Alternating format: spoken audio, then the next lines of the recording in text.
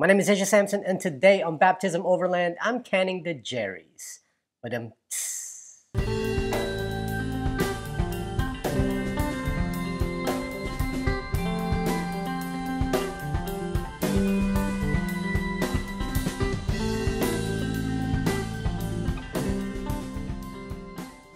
Next to me is the Titan Trail Trekker fuel tank made for the Jeep Wrangler. If you follow my channel, then you'll know that not too long ago, I installed the Frontrunner jerry can holders along with two Wavian jerry cans.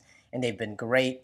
They've met my needs. I've been able to use them a ton, but I need a change. And the reason why is because I'm going to soon start putting a lot more things on the roof rack and I don't want to exceed the weight limit those two jerry cans with fuel in them weigh about 100 pounds. And that's 100 pounds that's sitting on top of the roof rack that can be used for other things.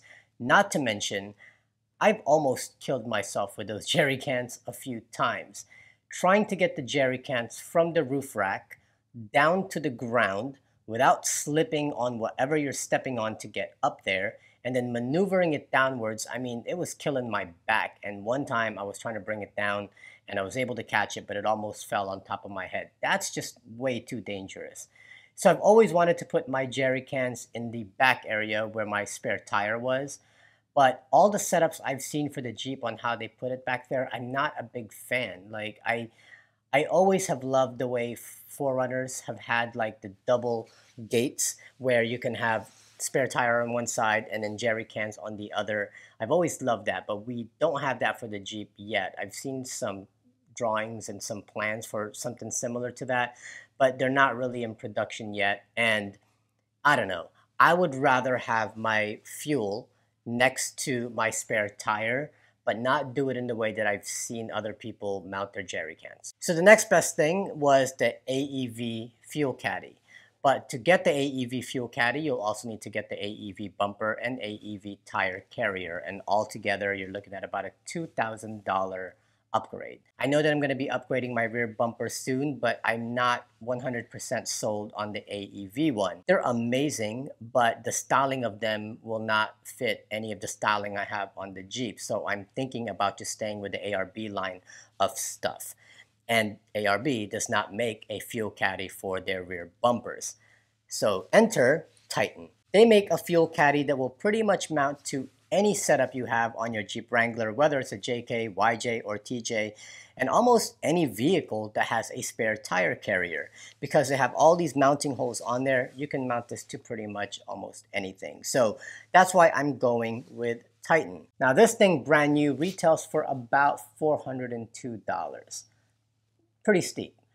However, I was lucky enough that my friend sent me a link to someone who was selling this off Facebook for $175. They live about 60 miles away from where I live. I contacted them and I said, hey, do you still have it? And they said, yes. I said, all right, I'm willing to come down there and pick it up. Can you give it to me for a lot less? And I was able to get this from them for 130 bucks. Now what I ended up getting is obviously the tank and also your mounting plate. The way this works is this gets mounted to your spare tire carrier, bolted on, and then you take your plate, attach it to here, and then your spare tire goes onto here. When I got it from him, his was set up for a Toyota because he was using it on his FJ. So he took out the studs that was already there, gave me the studs that came with this kit, and then I took those studs along with this plate to my nearest tire repair shop and I asked how much they would charge me to just punch these in. I could have done it myself, but I didn't want to go through the hassle. I don't have a press. So I brought it over to them and they just punched it in for me for, I don't know, $10. So it's not expensive at all. So overall, all this cost me about 140 bucks. And then you also get a grounding wire. And at first I was confused. I'm like, why is there a grounding wire? Does this thing light up or something? And what it is, is to prevent static electricity buildup. There's been accidents at gas stations when people are filling up their jerry cans with fuel and there's static electricity and suddenly that little spark was enough to start a fire. So to prevent that, you attach this grounding wire to the top up here and then ground it somewhere on your vehicle to prevent any static electricity buildup and cause this thing to explode. Now this thing is pretty stout. This thing carries 12 gallons of fuel. When it's dry, it weighs about 15 pounds. Add in about 12 gallons of fuel at 7 pounds a gallon. That's about 85 pounds. So altogether, total, this will weigh about 100 pounds. I do not yet have a reinforced tailgate hinge on the Jeep. So I know I'm going to need to upgrade that, especially if you're adding 100 pounds of fuel plus a spare tire. That's going to kill my hinges very, very quickly. So I'm going to need to get a stronger hinge to put back there or go ahead and upgrade my rear bumper with a tire carrier and then place this and the tire on that so that it is strong and won't go anywhere. In the meantime though, until I'm actually going on trips, I'm not going to keep this thing filled up. So an extra 15 pounds right now should not hurt. But when I do fill it up, you know, that's a lot of weight that you're putting on that tailgate. So make sure that you reinforce it, which I'll do soon enough. All right, well, that's all great, Asia, but how do you transfer the fuel? Well, that's actually pretty easy. The fuel cap for this, right here. You fill it up with fuel, and what you do to get it into your fuel tank is you use a self-siphoning tube.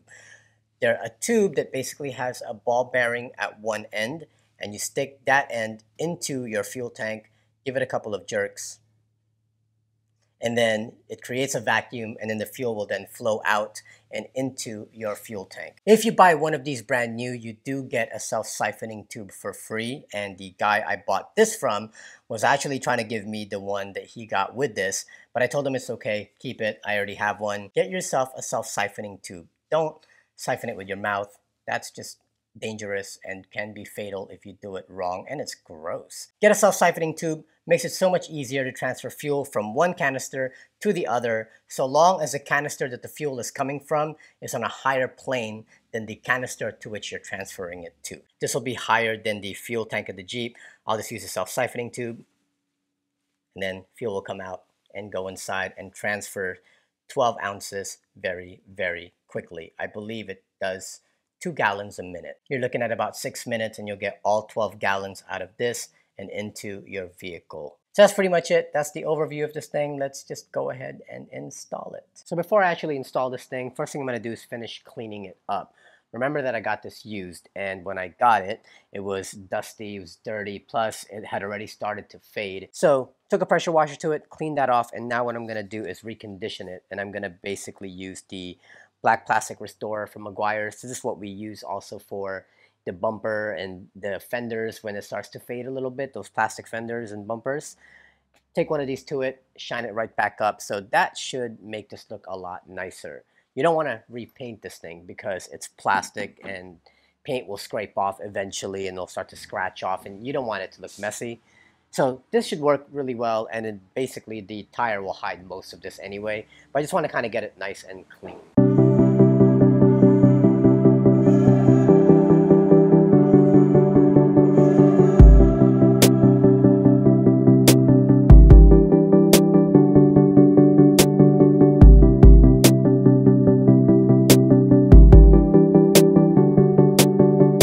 Much you want to bet a ton of you didn't skip any of that because it's kind of satisfying to watch things get cleaned. Let's install it.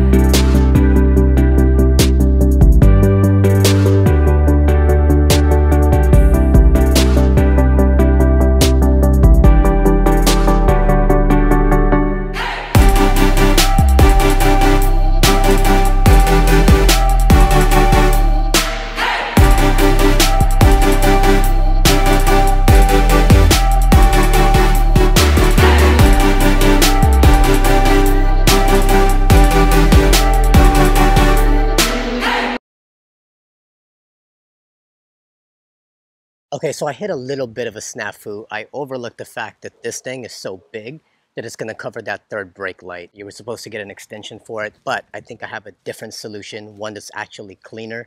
So I'll do that later, but for now, I'm going to soldier on, remove the light that's there now, and just continue with the build. And we'll tackle that third brake light a little bit later.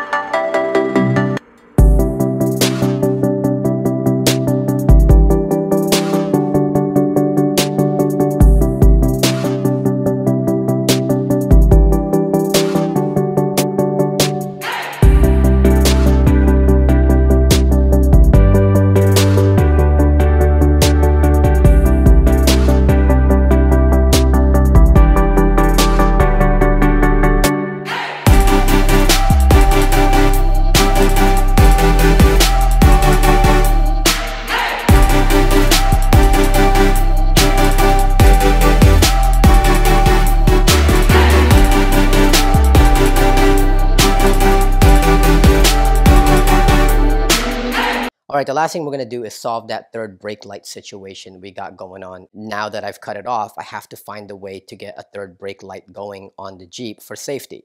Now what I can do is get an extension to extend that OEM brake light above the fuel tank, but I think I have a better and much cleaner idea so that I'm not crowding the back area with just a whole bunch of stuff that's just mounted to the back of the Jeep. Just for warning, this is not my idea. I saw somebody else on YouTube do this, so I will link that below so you can see their full install.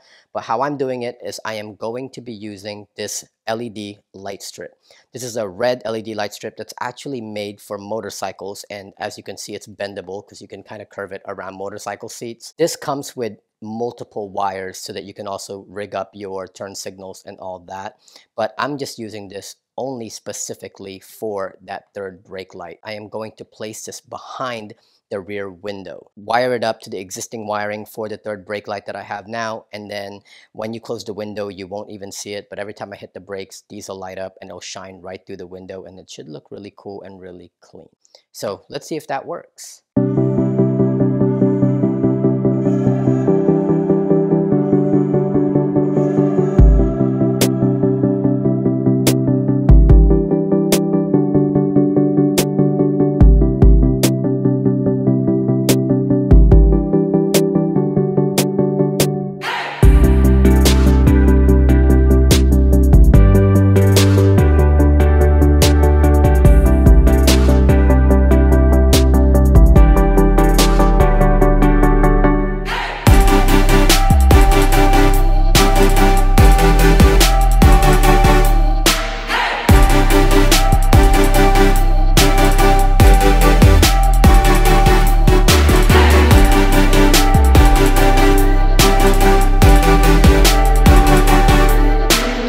Right, that's it.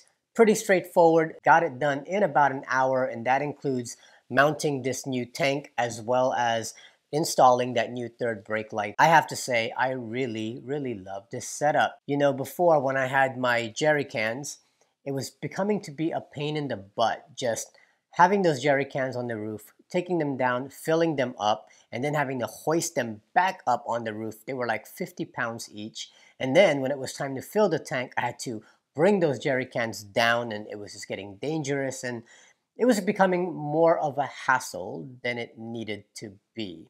I know that I'll be using these jerry cans for the 4Runner anyway, so I'm not getting rid of them. But as far as the Jeep, I like having this auxiliary tank right behind my spare tire. Noticeable, yes, but kind of discreet right? So I like the setup. I'm glad I'm going with this. I am not going to waste your time by showing you how to fill your gas tank with it. There's tons of videos on that. But hopefully there will be a trip that I will video that you'll be able to see me use this stuff along with all the other gear that I've put onto this Jeep. One quick thing about this Titan fuel tank though is after I installed it, I locked everything down, made sure everything was cinched tightly and to spec, and yet for some reason, there was still some sort of play with the spare tire.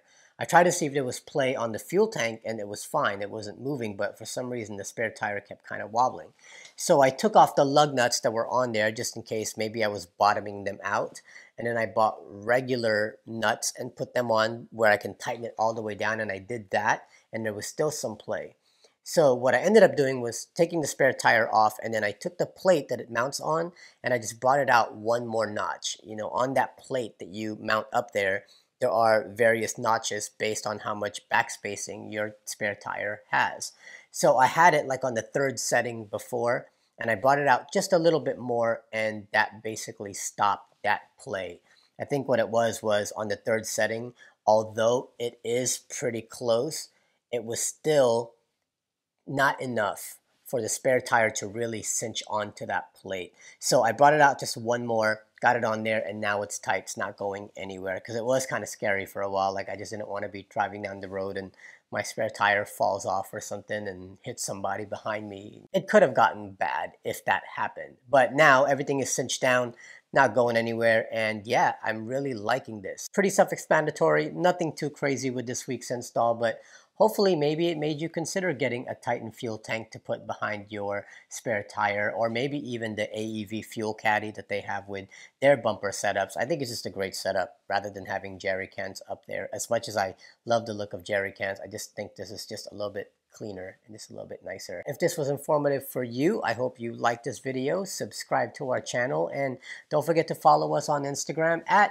Baptism Overland. My name is Asia Sampson, and I will see you next time.